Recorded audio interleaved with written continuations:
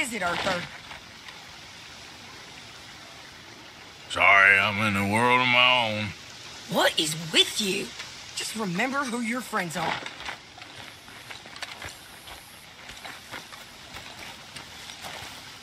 You need to back off.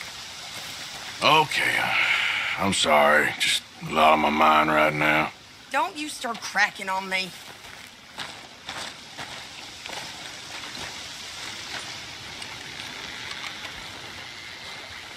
Who do you think you are? Look, I'm, I'm sorry.